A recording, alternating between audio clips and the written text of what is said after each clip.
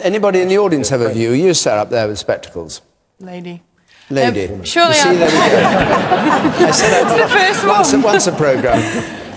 Surely our time is, uh, would be spent better than talking about this tonight. Oh, well, why I think are you talking much better about things it then? to talk about. Yeah, well, you shouldn't have put your hand up. James, James Delingpole.